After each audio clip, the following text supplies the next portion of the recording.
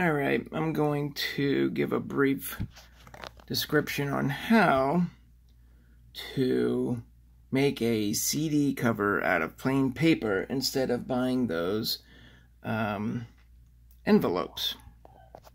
So these are what we normally get, and I guess these are fine and dandy if that's what you like, but you know, just in case you don't feel like spending the money on it, or you want something a little, uh, a little cooler a little trickier, a little nicer, a little more of a touch, you know.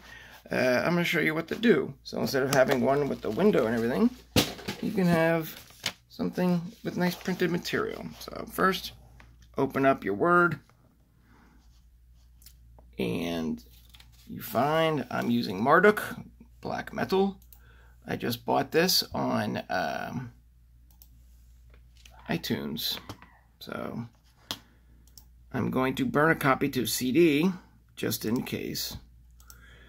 So what I do is I put it in the thing, and I scooch it over to where it is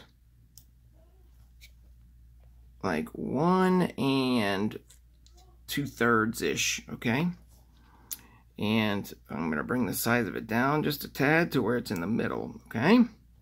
So we got that going for us. All right. Then I'm to go to where I have it on my thing. So this is, I'm to describe why I'm to do this. Okay, so here's the songs. And I'm to bring up my snipping tool. And I'm to snip this. All right. And then I'm just going to go 1 through 10 is the songs. And I'm going to tell you why I'm doing this in just a minute. Then I'm going to copy this. X out of that, go back to my Word. There you are. Now I'm going to go down to where I'm just past halfway down the page here. Control V in my thing, size it up right. Okay. Move it over to where it's like halfway so it, uh, you know, everything is all whatever. And now this is why I'm gonna flip this upside down. Okay. So now, when I fold this in half, it will be right side up. So, let's print.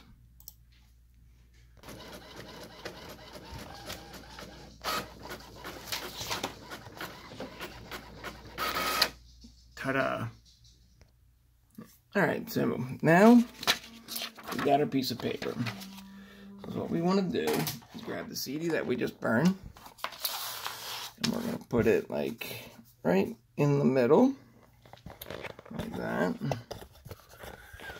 And then uh, I'm doing this one-handed, guys, so bear with me. We're going to mark it right there. And then we're going to fold it right at that crease. Make sure you get that perfect right there. And then fold it. And put it in here. Mark it again over there to get the... You're going to put that top right perfect with that. And you're going to fold yourself a crease. Alright, now you're going to take your CD. You're going to put it about eighth of an inch down from the top. Mark it there. And that's going to see how perfect that works. Now it puts the CD artwork right on the front cover, right in the middle. Cool, huh? Now, grab you a tape dispenser. Take off about an inch and a half. That's my son learning how to play the trumpet, allegedly. Alright, take another inch and a half-ish. Now make sure you don't go up too high, and I'm going to show you why later. Now, you're going to go down about a quarter inch, and you're going to fold it into a triangle there.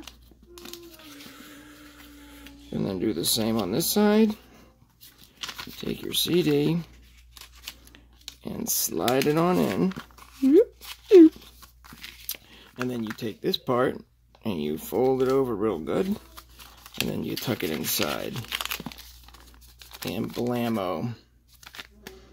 You got your songs on the back, your artwork on the front, and you got a nice little case in which to protect it.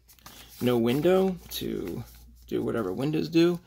And my advice is when you ever buy any kind of digital uh, information, whether it's music, books, anything, always put it onto some sort of uh, media like this because you never know when your uh, computer blows up, gets stolen, or whatever. So, anyways, that's my gig and I'm sticking to it.